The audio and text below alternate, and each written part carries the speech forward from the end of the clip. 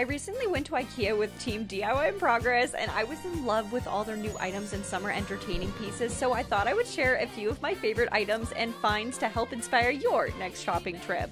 Let me know in the comments section what item made you the most excited or share something you found recently that you can't wait to use in your outdoor styling.